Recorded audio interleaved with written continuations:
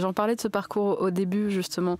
Des débuts euh, que, oui, j'ai qualifié un petit peu de, de compliqués. Si je vous dis Hervé Net, qu'est-ce que vous me répondez?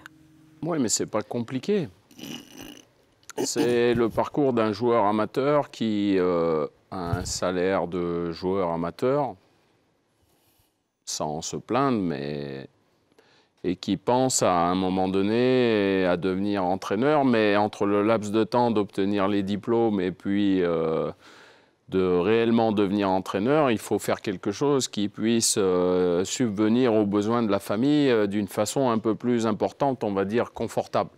Alors, c'était quoi Hervé Net? Et donc, je monte une entreprise de nettoyage sur la côte d'Azur avec l'aide et, et sous les recommandations d'un ami qui s'appelle Pierre Romero, qui est la même personne qui a parlé de moi à Claude Leroy.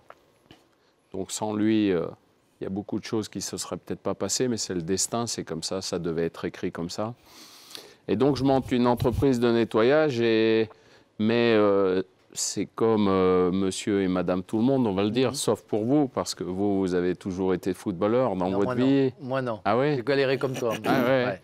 Mais c'est même pas de la galère, c'est... On vit comme ça. On vit euh, ce que beaucoup de gens et des milliers de personnes, des millions vivent, c'est-à-dire la vie euh, normale, Ouais. quelque part. Le football, c'est un monde de privilégiés. Ouais.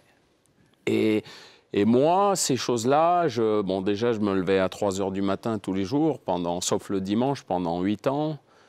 Je devais faire euh, ma journée jusqu'à midi, 13 heures. Je travaillais pour moi. Et puis le soir, à 17 heures, je partais entraîner l'équipe de CFA de Draguignan. Mais, mais quand je suis arrivé sur, euh, dans le monde professionnel, un match, pour moi, ça avait pas, c'était du plaisir. C'est du bonheur, quoi.